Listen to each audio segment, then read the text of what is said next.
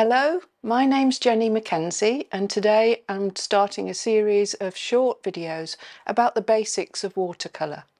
Um, I'm going to start with what I feel is the most important part of getting the equipment together for watercolour. It can be very daunting so I'm only going to talk about the things that I use and that work for me.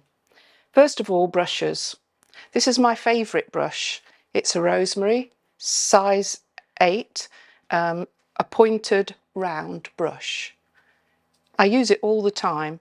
Sometimes when I'm working bigger, I use the same sort of brush, it's a 10, or even bigger work, I use a 12. And really, I don't use any other brushes. These have got nice fine points, they hold lots of water, they're very um, inexpensive.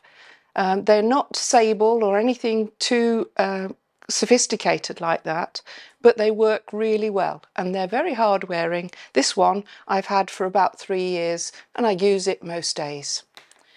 Um, you can get a sable and a synthetic mix brush. This is also a rosemary. Um, they're quite nice. This is a sable brush. Um, I've had it for quite a long time um, and it's great, but they're very expensive. So stick with the the, these basics. When I'm out sketching, I also use a wet brush, which is got water in it, and it's just, I don't have to take a pot of water, I just take this wet brush. Um, so that's the first thing about brushes, a size 8, a size 10 and a size 12. And uh, that, that is all I need. Now the next thing I want to talk about is the paper that we use for watercolour. It can be a minefield but I'm just going to talk to you about what I use. I use this rough 300 gram watercolour paper and it looks like this. I prefer it on this what's called a glue pad and it's it's good because you don't have to tape down your work. You can paint directly onto that. 300 grams means you can use quite a bit of water without it wrinkling and, and bending. Um, so that's it comes in this sort of size, which is um, A4, or, or this A3 size also.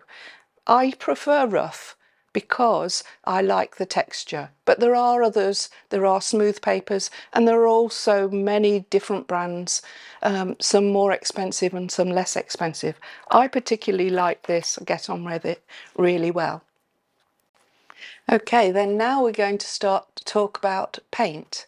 Now, watercolour paint um, is, a, is a minefield of different types of paint, um, but the very basic is the the pans of paint. Now this is a Winsor & Newton uh, half pan palette set.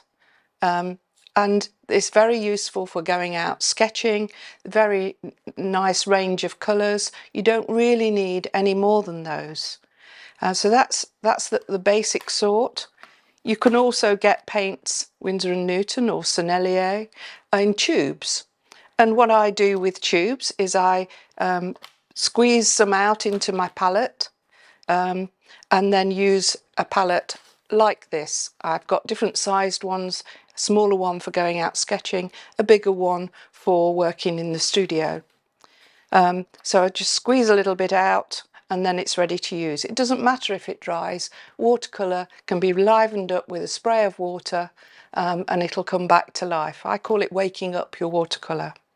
Um, I particularly like um, Ludlow colours, mainly because they're 80% pigment and uh, really bold colours and good density and good light fastness too. And I use them in from these big pots. So I palette knife a little bit of these into my palette so that I, have got a ready to use um, palette there. I don't use them straight out of the pot. These, these also come in the little, little pots and that's equivalent to a 5 mil tube.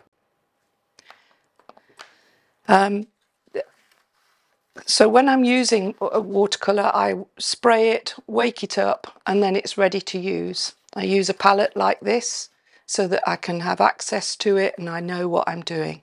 It's also a good idea when you've got your colours to make yourself a little colour chart so that you know what colours are where and where they sit in your palette. After a short time you'll get so used to it that you'll know exactly where they are and which colours are which. You won't need that anymore. I've done this new one especially for today. And finally I just want to mention um, about uh, pencils. Um, when I go sketching I sketch in colour and I don't draw first, but a lot of people do like to draw first. I use a sketchbook like this. I use 300 gram paper for, for watercolour sketching, but the pencil is important. I use a 4B and 4B is the best pencil. If it's got a B after it, it's softer. Anything with an H on it is too hard. And if you're using a pencil and rubbing out, if you haven't used a soft pencil, you'll get an indentation in your paper, which means that the paint, when you put it on, will flow into the indentation and you'll see you're rubbing out as well as the colours that you're meant to be putting on there. So just a 4B, simple, simple um, um, request, just use a soft pencil. So just a 4B pencil is, is the best to use, uh, soft and you can rub it out without any impression. Well that's the end of this section but you can watch the next part by clicking on the screen here and don't forget to subscribe to the channel by clicking here. See you soon!